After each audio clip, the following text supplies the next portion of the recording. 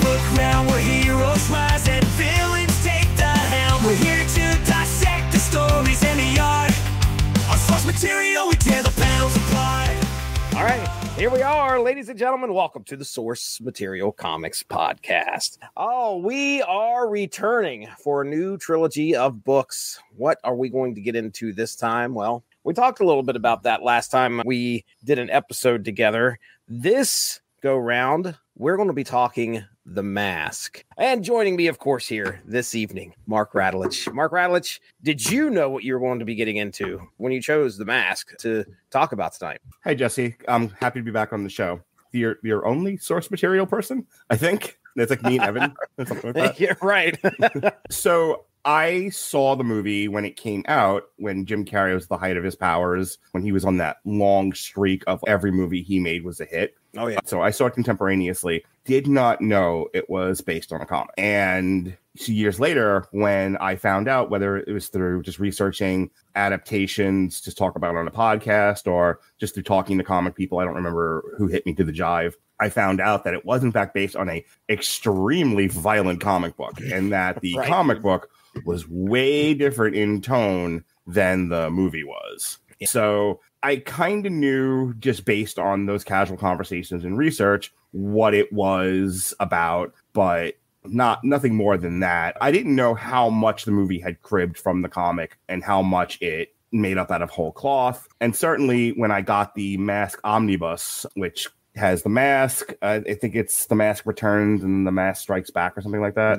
Yep, you got it. Okay. And so I've never read I'd never read them before now. I just kind of was looking I think I was looking for like a what if anything was like a direct adaptation and the best thing I could find was this omnibus. This this was like the definitive mask books all Mhm. combined these three series all combined into this one volume. So I'm excited to talk about it. First time I've ever read them and actually just before we started recording tonight rewatched the movie. Yeah, yeah. So how'd that go? Reliving that experience. So I was watching it w- with the comic book in mind. So without getting too much into the books, because we're going to talk about them individually. I mean, the obvious thing is the tone. The the the books are pretty. It's a re- it's a revenge violence. It's if you took the Punisher and combined him with the Joker, you Oh, yeah. have the mask Yeah. and it very much centers on not Stanley Ipkiss, who's only in it for a brief period. It, Yeah. yeah. it focuses on the detective, whereas the movie Ipkiss is the star of the thing. right. Um, the mask versus the mob is what pushes, at least definitely in the first two books, what pushes the entire plot forward to one Mhm. degree or another. And that's kind of what happens with the movie is Stanley Ipkiss runs afoul of Dorian, and Dorian is some sort of mobster to one degree or another. when it revolves around I can't remember the actress's name. Cameron? Diaz. Thank you. There we go. And she's sort of your femme fatale, and the story revolves around her, and it's him versus the mob, and the police are involved, and it's trying to figure out instead of it being the, the detective is the mask after Stanley Ipkiss gets killed. Spoilers. The movie revolves just around Stanley Ipkiss, and the cops are trying to catch him in the act Mhm. all the while he's dealing with the mob and Cameron Diaz. If you were to ask me which one I prefer, I don't know. I can see the mask being much more crowd pleasing, but it's also so sanitized, Oh, com- especially compared to the comic. oh yeah. And I and I hate to be the typical comic book dork that's I like my violence, but I kind of like my violence, but I also think it's a better story. I think the story in the books is much more interesting because you get a little bit of that Lord of the Rings, the ring is driving me mad thing with the mask Right, right. in the movie about mm-hmm. the time that he's confessing to the girl that turns him in to the mob that I'm really starting to lose control here. I don't, I don't have a tremendous amount of control over this mask and I don't know what to do. He loses the mask and ends up in jail. And then there's that whole third act where he has to fight the mob without the mask. Mhm. Whereas the comic book, Detective Kellaway really struggles mentally with the mask. You get Oh, yeah. much more of a sense of the mask is its own, and like the ring was in Lord of the Rings. That's why I was making that comparison. You get much more of a sense of how malevolent the mask really is, Right. and what it does to your brain, and how it takes over, and it it kind of takes your wants and needs and amps them up to like a hundred, to where by the time Kellaway does away with the mask in the first book, he's pretty pretty worse for wear. Oh yeah. And I kind of prefer that as a story to what we get in the movie. Yeah. And talking about the movie, I read the wiki there earlier Mm-hmm. and they were talking about who they were trying to cast and obviously we i think that as far as casting goes, I don't know if there's more perfect a choice than Jim Carrey to represent this mask. In uh, 1994, no. No. I mean this guy, he is a living cartoon. Yeah. And that is what the mask pretty much is when you boil it down to it. It's it's a representation of a cartoon character in real life. The only other person they mentioned that could possibly pull it off was Robin Williams. And that might may have been may have been on the level of Jim Carrey, but my goodness, yeah, 90 94 this is It depends on what year. If it's in the 70s, it's Jack Nicholson. If it's in the 80s, it's Robin Williams. If in the 90s, it's Jim Carrey. Okay. I'll I'll go with that. If it's in the 2000s, who do you think it is?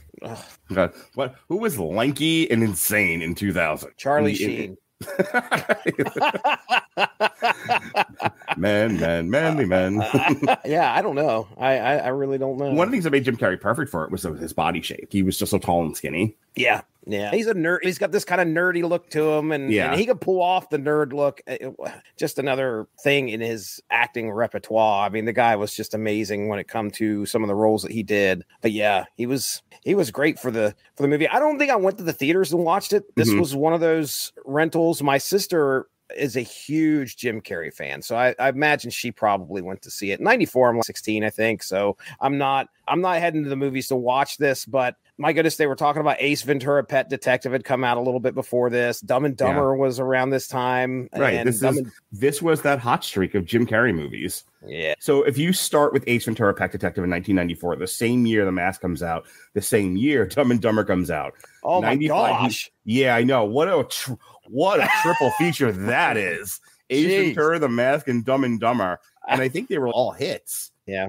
Batman Forever is 1995. Ace Ventura 2 is Yes. 1995. The Cable Guy is 96. Liar Liar is 97. And then that's, Oh, that's kind good of it for a while because then he starts doing dramas. So Okay. between 97 and 98 is when he's, well, they love me as a comedian. But let me put on my my drama shoes and see how they love me. And so he does the Mhm. Truman Show, Man on the Moon. Um, Truman is a great movie. Man on the Moon is a great movie. After that, he does Me, Myself, and Irene, which I actually don't know anything about. That sounds. like Oh my comedy. goodness! Oh my goodness! It's Yeah. Brothers, right? Yeah, yeah. Now yeah, I, I yeah, just he looked the plays poster. he plays a split personality, and oh my gosh, it's yeah, so from this point on, he's kind of mixing it up. So he's me, myself, and Irene, then How the Grinch Stole Christmas, which I think he's excellent in. I don't Yeah, love the good. movie as such, but I love him in it. He's good. And then he does the Majestic, and then he beats back to Bruce Almighty to a comedy again with Bruce Almighty. And I'm going to leave it Really? here in 2004, though. He he still's pretty steadily doing movies for the next year or two, and then he starts taking longer breaks. He does a three year break between 05 and 03. That's 05 and 08. But yeah, after Bruce Almighty, which was all kinds of silly. He does Eternal Sunshine of the Spotless Mind. I have not seen that. Heard a lot of stuff about it. It's though. weird. Yeah, it's yeah. a weird movie. Anyway, well, yeah, Jim Carrey as the mask pulled it off in 94, definitely, in my opinion. I'm glad you revisited the movie. I wanted to, I just didn't have the time. Uh, Yeah, but I kinda like an impromptu- probably. We kind of did like an impromptu comic strip. Yeah, that's all right. That's okay. Um, so hopping into the creation of the mask, just to kind of give you a brief summary, Mike Richardson, a guy by the name of Mike Richardson, created the base concept of the mask in 1982. The initial sketch was made for made in 1985 for APA, which uh, APA dash five. I don't know what the per- Acolyte Protection Agency has anything to do with this, but all right. a publication by Mark Verheiden, developed by Verheiden? Richardson. Verheiden, Verheiden, Does He he, like be. meatballs? I like meatballs. IKEA, Yes. IKEA. Richardson pitched the concept of Marvel Comics as Mark Badger, leading to the Mask M A S Q U E strip in Dark Horse Presents. The strip evolved politically, prompting Richardson to return to the original concept. And the revamp is what we kind of get here in these books. Artist Chris Warner redesigned the character based on Richardson's original sketch. Warner design Warner's design debuted in 89 in Dark Horse's Mayhem anthology. And then John Arcudi and Doug Mahnke, Mahnke, Mahnke, I'll go with Mahnke, created new adventures for the character, and that's what we're going to get into here. This starts in 91. Their work is described as a mix of Tex Avery and the Terminator. yeah, I was definitely getting a lot of Tex Avery vibes, and I think yeah, you could call it the Terminator, Punisher, unrelenting killing machine. I, I I liked my I liked my description of it. If what if you took the Punisher, merged him with the Joker, and then illustrated it with, and then Tex Avery illustrates it. Right. yeah, it's perfect. Hmm. So anyway, these these stories here that we're getting into really puts the mask on the map. So I think these Yeah. are the ones that kind of grab the attention of the reader. Arcudi does a great job of getting this story across. We will jump into this first series, which is just titled The Mask. Its first four issues came out in 1991, August of 91 to October of 91. As I said, written by John Arcudi, art by Doug Mahnke, and Matt Webb gets in there on the colors as well with Doug, lettered by Pat Brousseau and David Jackson. All right, let's talk about our, our I mean our main characters here in this first this first series. We start out with Stanley, Stanley Ipkiss. If you've watched the movie, you know who Stanley is sort of. However, as far as characterization goes, he's definitely different in this book. I would He say that he's less sympathetic. yeah, exactly. He's more of a jerk, and he's still he's still a nerdy kind of scrawny guy. But I mean, he doesn't. He is actually involved with a lady by the name of Catherine or Kathy, and he finds a mask and brings it home to her as a gift. Now, of course, on the way home, he runs into a, a foul of some bikers. Some bikers beat him up pretty good, but he goes home and he as he gives her this gift, there's there's some discussion about how moody for some reason that Stanley's been lately. And then I think it's later that night he goes to the bathroom and he sees that this mask is laying on the toilet and he thinks that Kathy's put it there. So he grabs it and he's like, I'm going to get her back. Puts the mask on his face and whoa, whoops, that was a mistake because the mask all of a sudden takes over and he becomes the mask, the character that we know, the big green face, which I, Yes, I- they I- never call him the mask in any Nope. of these series. It's like Big Head. big head. Big Head. Big head. Yes, he is definitely known as Big Head throughout here, but he's got the big green head, and he all of a sudden he realizes that he's feeling good. He's he's feeling like he has these powers. He he jumps out to the outside. He slides down a drainage pipe, and he realizes that it things feel. He's like, boy, that worked just like it does does in the cartoons. Um, seeks revenge on the bikers. He goes and finds the bikers who attacked him, and he makes them pay. So Yeah. a revenge fantasy. That was the word I, or the phrase I thought you were going to use earlier because that is very much what Stanley is is enjoying right now. He's got this he's got this mask that gives him these superpowers and now he's going to partly that. It's it's partly that. It's partly detective noir. It's it's Right. a it's definitely a mashup of different genres. I'll agree. So Stanley begins to make a list of people that he wants to make pay. He's got a, a shit list, a shit list. And at some point, Kathy confronts Stanley about his behavior. She noticed that things have gotten a little bit more out of control here lately. He's definitely acting a lot more erratically. And there's a bit of an altercation to where she kicks him out. Now he goes, I think at some point in here, I think it's before he gets kicked out, maybe. It's before he Mhm. gets kicked out. He he ends up finding somebody, some dishonest mechanics, and he kills them really violently. he Mhm. shoves a muffler down. It's Yorkie's mufflers. He shoves a muffler down one guy's throat. He uh, the way, this, another this guy was with a. This was crib from from the book to the movie. The muffler oh, bit. really? The Yeah. muffler bit? I don't remember that. Maybe not. Maybe as violently. You don't see the muffler in the guy's Well, mouth. the guy is not dead, right? I assume he's not but dead. but and again I, I was only barely paying attention to this part, but the the bit where he takes revenge on the car mechanics is in the movie. Okay, all right. Well, that makes sense. He even goes so far as to find like an old teacher that he had and kills her in front of the students. Yeah. Yep. I'm like, geez, criminy. So, I was really uncomfortable with that. oh Like, man, it gets bad. I like, because violent. it, it, I don't think he does, but I think it's either there or another place in the book where it's definitely intimated he kills a kid. oh, he hits a kid for sure over the Yeah. head. One of the bullies. I think it's shortly after that. He's Mhm. on his way back and he runs into this kid that's getting bullied and he grabs Right. the bully and hits him over the head.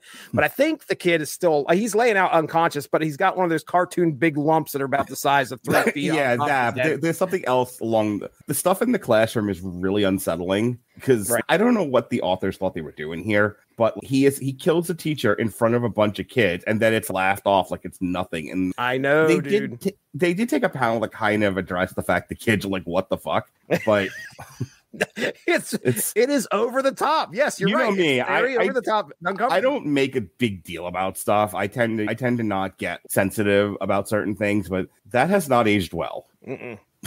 No, no, it hasn't. Killing a teacher in front of young students not okay in two, in 2024. I'm sorry. Nah, Hate to be the No. sissy on the podcast, but there's no way an editor lets that go now. yeah, you're right. This is bef- this is 91, just before Image hits. Oh yeah. Just before Image Comics. Dude, I was Um, a huge fan of Dark Horse comics back in the day. I read all the Aliens and Predator stuff. There were some other Dark Horse things that I dabbled into, but Dark Horse was in in the 90s when I'm in high school and reading actively reading comics.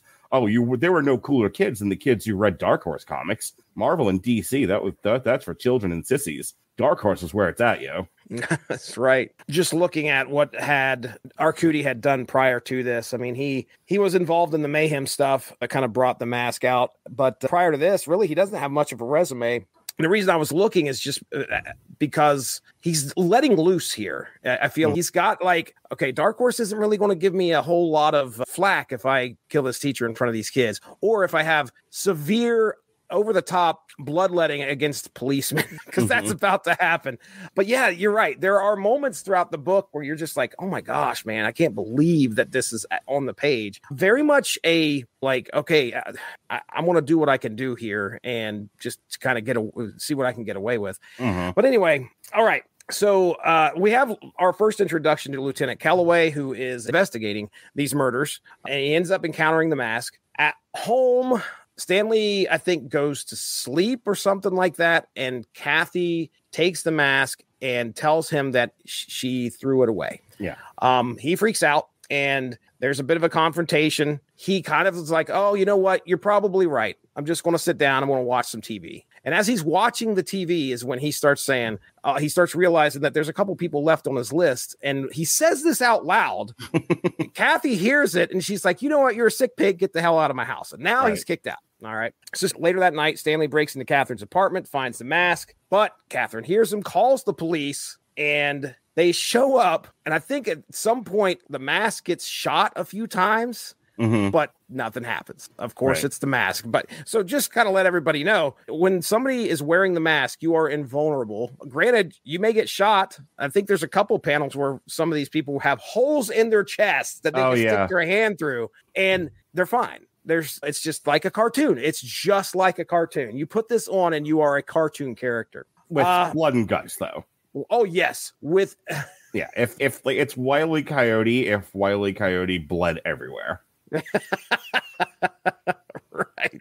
So, all right. So, in Catherine's apartment, the police and the mask are dueling it out. The Mhm. mask is not caring about killing policemen. He's doing that in front of everybody. He grabs a gun, he shoots one of them. He makes his way down the steps. A bunch of other policemen are coming up. He unload pulls out a bazooka, which by the way, he's materializing weapons like out of nowhere. Yeah, that's a running gag throughout the mask. Like, how did I get this gun? so he pulls out a bazooka and blows the stairwell to hell. He escapes. Catherine realizes Can we, now. can we talk about that for just a second? How not great the whole gun thing is handled? Because it took me a couple of times of him doing that for me to realize, oh, he's just materializing the guns. Right. Well, he did. Yeah, he doesn't even know what's going on. Just like Well, you said, he's like, They don't even address it. The Oh, author no. doesn't actually address the fact that he- he's just running, and then the because I remember this distinctly while reading it. He's he's doing something. He's like running down the stairs or whatever. And then in the next panel, he turns around. He's got a bazooka, and I remember thinking to myself, "Where did the bazooka come from?" They don't acknowledge it in the comic. They don't acknowledge that he materialized his weapon out of nowhere. He just does it, and, he, and it's it's totally no sold. And that happens a few more times, and then it's later on. It might even have been in the second series where Kellaway's just like, "Where did this gun come from?" like, like it was an editor's note. You have to. we got to have an explanation. Yes, we yeah, have, you have to, to address this at some point. You have to at least acknowledge. So Catherine starts to realize that the mask has this influence on Stanley. Mhm. Which, by the way, I, I definitely did not go into every confrontation the mask had with police because there Mhm. were a lot of that. Ha- there was a lot of that happening. Plus, it was always over the top, something crazy, and he, he was Mhm. killing many policemen. Right. At at one point, I think he jumps onto the. He's uh, uh, they have a roadblock or something like that, and he jumps Mm-hmm. on top of a car and just kills. I don't know, thirty policemen with a flamethrower and a machine gun. Right. So anyway, he's like, I've got to leave town. So he heads back to Catherine's apartment to grab his clothes. And it's at that time he puts the mask, takes the mask off, puts it on the bed, and Catherine shows up. She puts the mask on and then unloads a gun into Stanley and Can we talk about him. how every time Catherine puts the mask on, it's always a splash page? Every single time. uh i don't know at what uh, issue we're into i think it's probably issue two or issue three stanley ipkiss is dead Yeah. which is yeah okay your hero from the movie is not the hero in this I was gonna say if you were if you read the mask comic thinking this was the life and times of Stanley Ipkiss as the mask, you would be incorrect. You'd be Not severely let down. yeah so stanley's dead and it's, at this point where catherine's like okay i've got to give this mask to somebody get it out of here it's she understands that this thing is is clearly Yes. causing the chaos that's happening around here. So she takes it to Lieutenant Kellaway and says, Okay, look, this has been a problem. Don't, whatever you do, don't fall asleep. No way saying, whatever you do, don't get them So, wet after midnight. After midnight. yes. God damn it. whatever you do, don't wear the mask. right. And uh, he's like, Okay, sure, no problem. Yeah. Well, he ends up, of course, All right. I, can I tell you how dumb this was? I understand comic book writers, whether except for maybe what's this Ed, whatever. These are not people who are Brubaker. familiar. I was thinking uh, Brubaker. Um, Um, Brubaker. Yeah, Brubaker, Brubaker, uh, Orville Redenbacher. I understand these people are, are are not law enforcement experts. But let me tell you how. If you walk in with a mask that may or may not have been responsible for killing a lot of cops, they're not treating it like, ah, just throw it at a desk. It's it's not a file. Hi, I have evidence. I have evidence. The I have the murder weapon essentially. Right. like a hundred law enforcement homicides on top of another. this, this town, by the way, I don't know where they're coming up with cops, but they've run out of uh, at least a few. Yeah, right. The anyway. fucking you know, like like sea monkeys that they grew. So she comes in and she's like, "I have this mask," and he's just like fumbling with it at his desk. He's like, "All right, you you you dumb broad, hey, get you get out of here, you skirt." And she fucks off, and he's like, doesn't put it in evidence control. Like, Nope. Doesn't doesn't take. And it- what I don't understand is that it's not a secret what this is. There was no reason for her to be like to walk in there and have plainly said, "Hi, my name is Broad Vagina, and I'm the girlfriend of Stanley Ipkiss, who murdered a whole bunch of people, namely cops. He did so with this mask. If you put this on, you will become a homicidal cartoon character. I know it sounds crazy, but uh, did you happen to catch the fact the guy who was doing it had a big green head? Connect the dots. They'd at least Right. take a statement. okay. Right, right. They'd they would take the mask. The mask would go into evidence control, and she would. They would have taken a statement on her. They may or may not have had her committed. Who knows? Mm-hmm. But that would have been the end of the hat. The way it's handled, I don't want to deconstruct the comic too much and get too caught up in the minutia, but it really bothered me because it was like, well, we we never had designs to keep Ipkiss as the main star. We want Detective Kellaway to be the star. right. It's it's a Right. first of all, it's a really jarring change to go from Ipkiss to Kellaway, and the only thing connecting them is the girl, the girlfriend. Mhm. Uh, so that kind of bugged me. I like the story in general, but the transition from Ipkiss to Kellaway was a little awkward. And then again, Yeah, and I- her whole the way the whole way she does it is like he doesn't believe her, and then he's fucking with it, and he puts it on. He was like, "Oh, wait a minute." He takes it home. Like the Yeah. mother- he doesn't even just sitting at the police office. Does he put or he doesn't put it Can on I, his can I tell you, you're not supposed to take evidence home? Just, just, just, just to be clear about this, you're, case anyone's like, I'm not a law enforcement expert. I, I work with law enforcement. I don't work as law enforcement, and I'm not a legal expert. I just play one on TV. But you're not supposed to take evidence in a murder case home, in a multiple homicide case home. right, right. Like, Yeah. you just imagine we have the gun. We have the gun that killed hundred cops. Well, I'm gonna go home and play with it. Me and Spanky was shooting in the backyard with the homicide gun. That's how that works.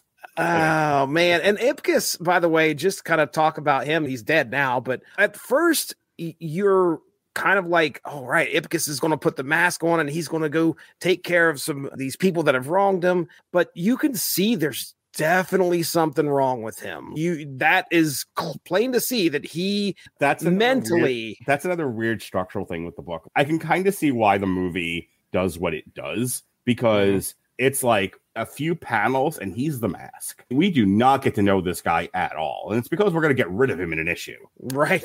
right. Yeah, he's um, be dead. Kellaway, you get to know a little bit more. But he's not, he's no Jim Gordon. We're not like, following him home, dealing with his house, his wife, and his trials and tribulations. We kind of get to know Kellaway a little bit more, but we don't get to know Stanley Ipkiss at all. It's literally a page or two, and he's the mask. Right, right. And then he's he's he's putting the mask on and he's he becomes a villain. He is Yeah. not a hero. He is definitely a villain of of this. And I mean, clearly the mask is very powerful and, and what you kind of learn as we go through the rest of these books is that the mask has this kind of as powerful as it is, it also brings forth something similar to kind of like what you see in the movie where Stanley's kind of a reserved kind of dude and then he puts the mask on and all of a sudden he's not. He's out there. He's Yeah. smoking. Um, he's almost committing a sexual assault. right, right. So I'm Um, sorry. I again watching with 2024 eyes and being a little sensitive to this sort of thing. Now I'm watching Jim Carrey for, kind of force himself as the mask on Cameron Diaz on a park bench, and I'm like,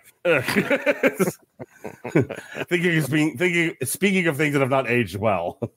Yeah. All right. So s- Kellaway's got the mask. He puts, the, yeah, of course, he ends up putting the mask on. It becomes the mask and starts using it for vigilante justice, which I thought we was mm. going to get with Stanley, but no. Kellaway's Kellaway's definitely a little more suited to actually be the person to maybe deal out this vigilante justice. He foils a robbery and kills a drug kingpin by the name of Rapaz. There's there's definitely a lot more story about some of these villains that end up dead really quickly. You don't need.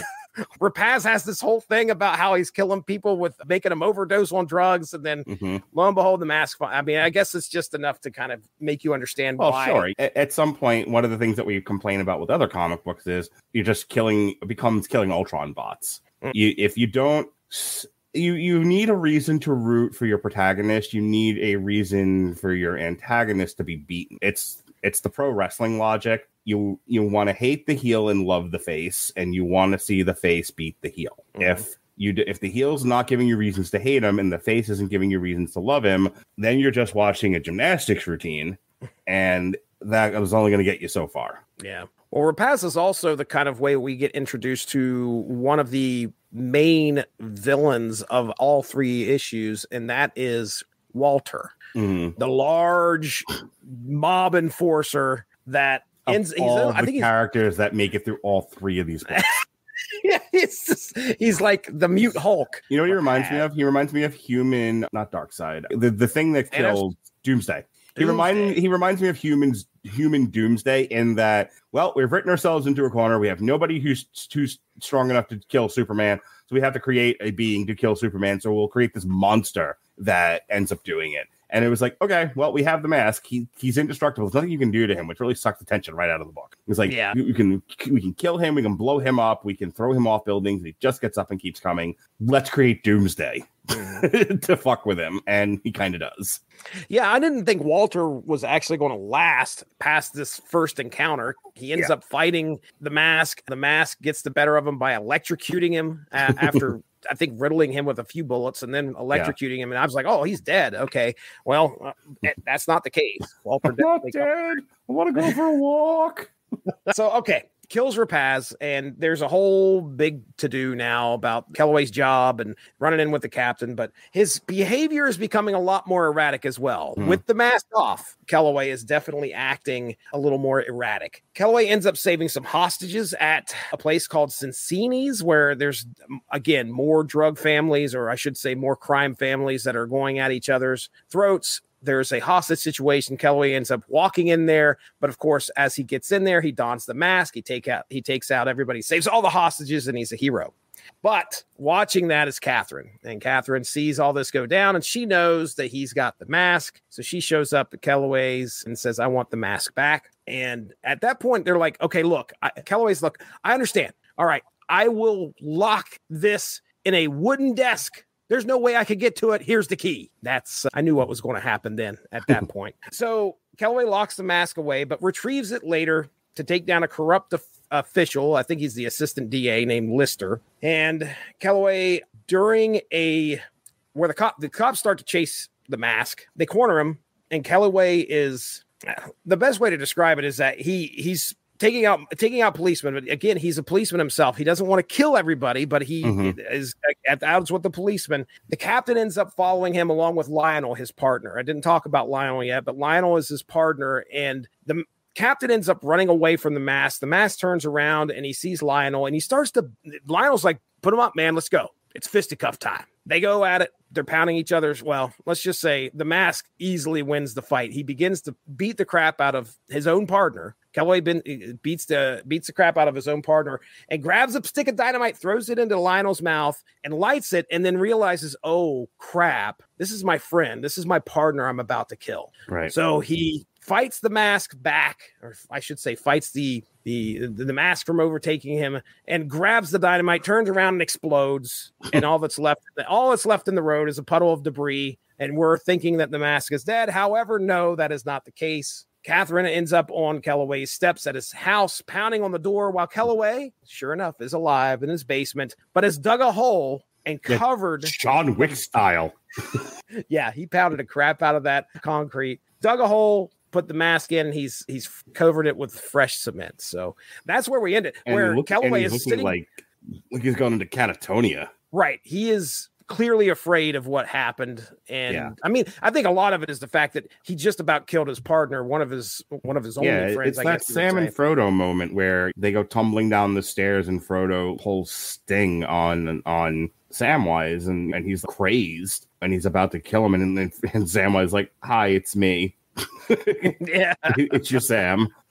I don't know what I don't know what's happening here, but stop trying to kill me." stop trying to Um, kill me. Yeah, yeah, I liked. I, you know, the thing about Dark Horse Comics is because they they were they weren't serving quite the same masters as Marvel and DC. They were not afraid of a tragic ending. They were not afraid to kind of leave you like, oh, this doesn't have a happy ending at all. He's just fucked up at the end of that book. And who knows if they were going to do any more mask books at that point. This could not have sold well. The Dark Horse Publishing could have could have gone under because what publishing company hasn't by this point? So they just end it with he buried it he buried it in a cement tomb underneath in the basement of his house like john wick Mm. never to be seen again and he's and he's just like drooling all over himself and his eyes are like you know overall aside from some nitpicks that we've already talked about i i think once we got to the Kellaway stuff and Kellaway is sort of the, you know, the mask is a battling of one soul in a lot of ways at least this first book. Um it is very much like what if the darkness within us came out? Yeah, if you think about every negative thought you've ever had, every revenge fantasy you've ever, that's why they're called fantasies.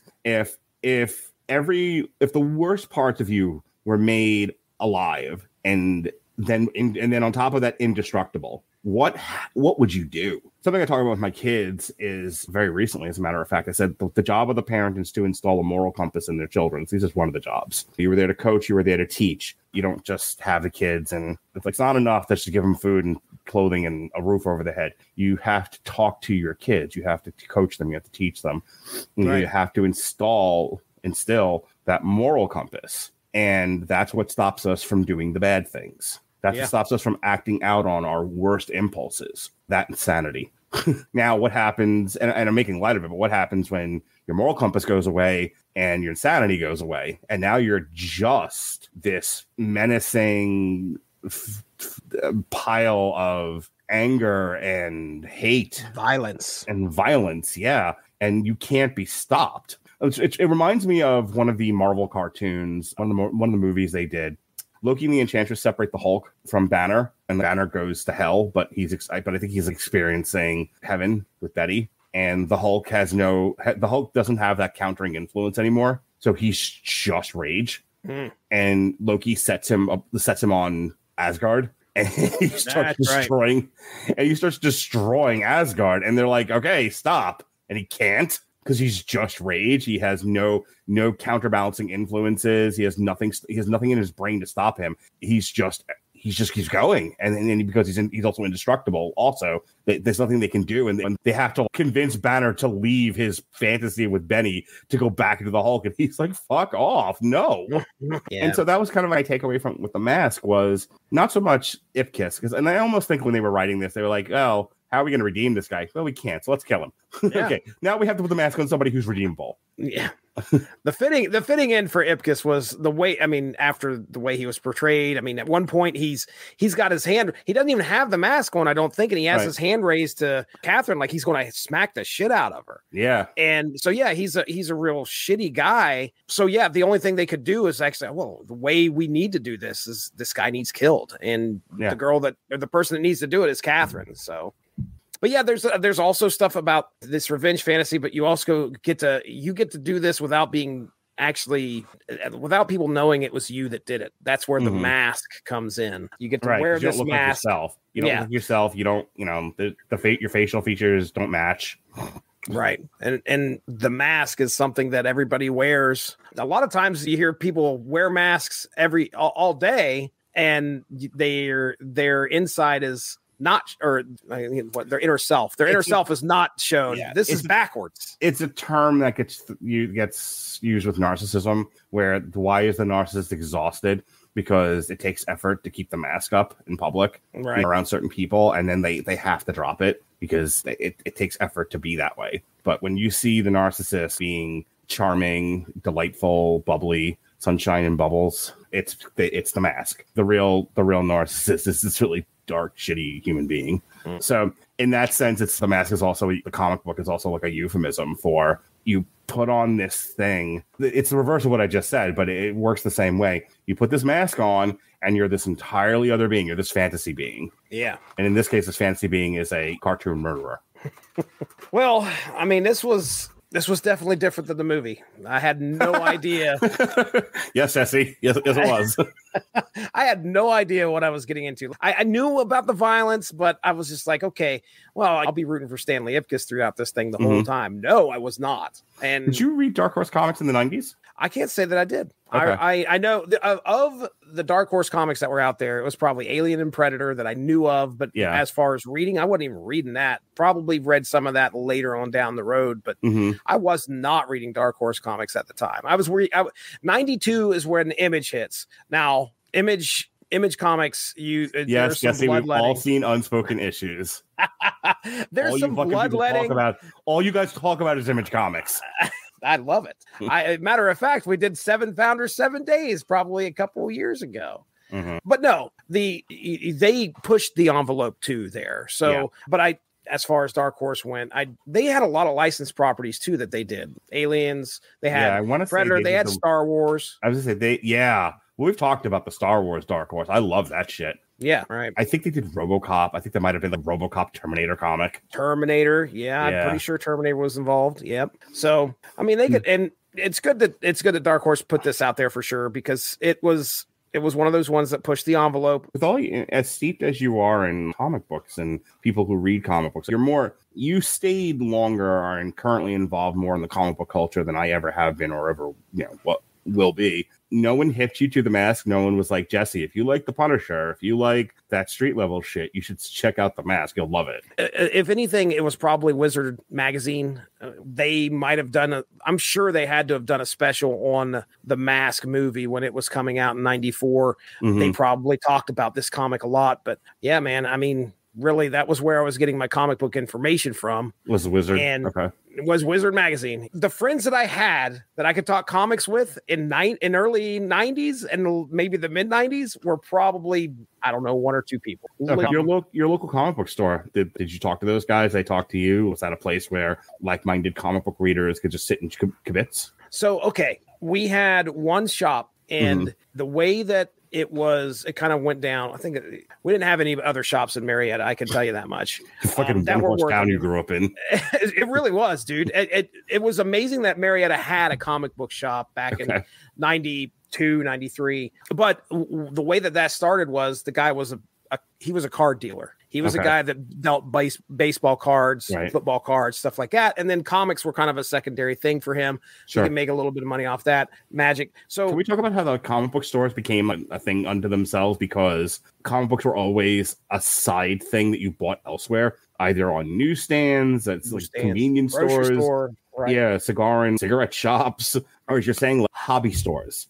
They used to be called hobby stores where you buy baseball cards and stuff like that. And Yeah. there was like a small section of comics. It's years after all of that that people start saying, well, we're just going to focus on comic because there was this window of time, this magical window where comics were big business. Oh, yeah. read a lot of comic books. There was a lot of comic books to, to be that were being published, and enough could be sold on an on an ongoing basis that people just made those. Now, comic book stores comic book stores have to have become not to completely derail the conversation, but No, it's have you been have you been in a comic store lately? Comic books might might th- th- it says comics on the marquee, but they might as well say this is Funko Pops and fucking pewter figure s- store. Right. It- Well, I I mean, look, uh, so Jordan took over. My goodness, I think he started in 2005. I want Mm-hmm. to say that. So, good friend uh, from over at Kapow, the Pop Culture Podcast. He runs Asylum Comics here in Marietta, and yeah, he he's a representation of sort of what you're talking about there. He's got plenty of comics, but he cannot just focus on comics. And he's talked about this a few times on his podcast about how you have to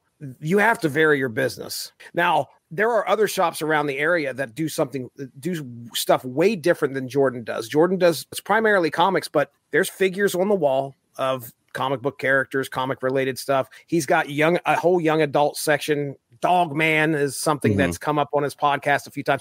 I don't know who the hell Dog Man is. My kid does though. I, these these are small young adult or kids Yeah. books that that can be bought. You go over into Parkersburg and I went over there one time. Mindy was getting a tattoo. Uh, There's a comic book store right beside the Lost Legion. I walk in there and it's a massive store that probably had, I don't know, 15 to 20% of its room dedicated to comics. The rest of it Mhm. was all cards, Yeah. a big spot for people to play their Yeah. card games. And also, I'm sure they probably held D&D kind of like what Ronnie Yeah. does. Ronnie's involved in that multiverse stuff and he is primarily going there on the DM All- stuff. So There's a comic book store near where my kids go to school, and there's plenty of comics in there. There's also manga, and Manga. there's a whole bunch of role playing stuff, Funko Pops, as far as the eye can see. You know, games. You now can't just sell comics because you'll go out of business, and a lot Right. of stores have. Yeah. This series was not sitting on Kroger's newsstand. I'd walk into the grocery store. People's News didn't carry this stuff. They carried, they usually carried the Marvel and DC stuff, whatever could sell on the newsstand. So, you know, I didn't have access to this. I didn't have anybody that could tell me about it other than Wizard Magazine. And Wizard mm-hmm. Magazine was something I started picking up in 91, 92. So, but yeah, I mean, as far eh, this would have been in my wheelhouse though this would have definitely because 92 when i'm picking up when i start picking up image comics the thing that draws me to them is the violence Right. this this has it in spades oh, mask yeah. has violence in spades what makes the character so interesting is the fact that he's a cartoon character brought to life but you've got to also think that what they were trying to get across is what if this cartoon character was real Yeah. and what would it be like for everybody else?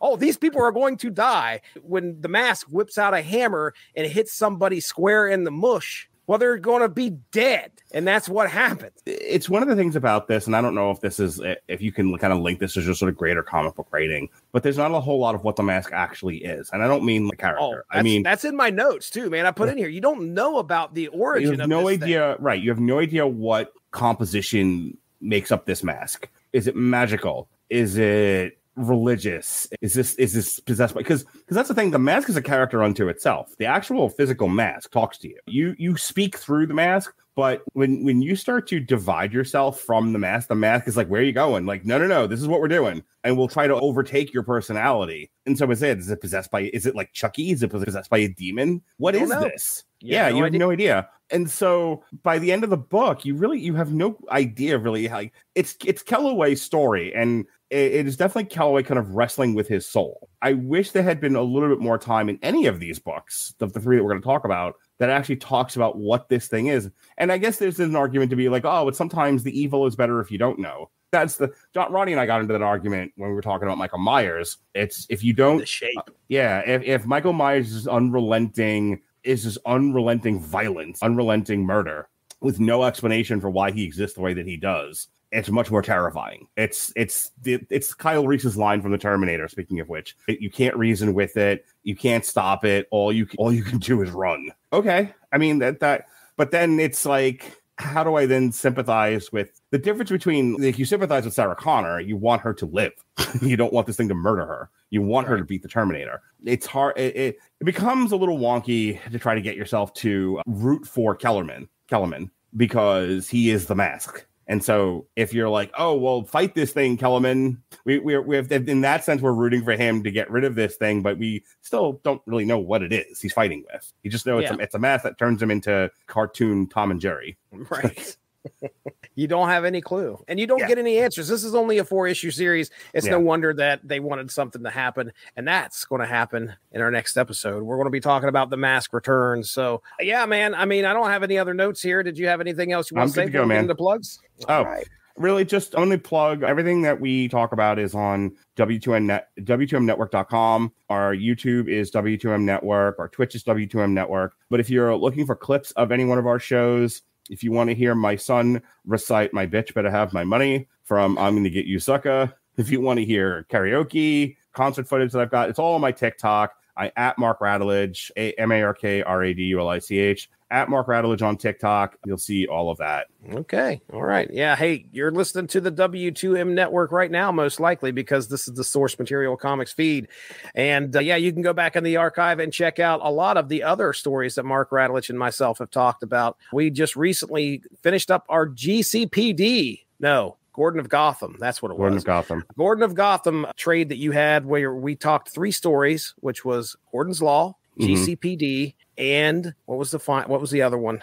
Gordon of Gotham. Gordon of Gotham. Yeah, that's right. The the title thing. So anyway, yeah, you can check that out. That is that is the last three episodes that Mark Radulich and myself did. And Mark, he he plugged unspoken issues already. Where we talk 90s comics, we're doing it right now. But only talk the image. I don't think so. We are definitely Marvel heavy over there. Check that out. It's me, it's Dean, it's Derry, it's Matthew Price comes on there, Evan Bevins comes on there. You, you can hear Strip Snap every once in a while. Yeah, Mark Radulich knows all about Strip Snap.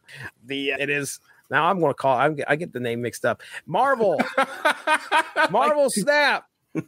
Like you Damn did it. that. I'm just like, oh, great, He's playing into the gimmick. It's like, God, God damn it. Snap material, folks. You can hear me and me and Evan Bevins talk about that mobile game, Marvel Snap. All right, we're out of here. That's Mark Radulich. I'm Jesse Starcher. Have a good one. Bye bye. Thanks for joining us. All of this would not be possible without W2Mnet.com, so make sure to seek them out for more podcasts.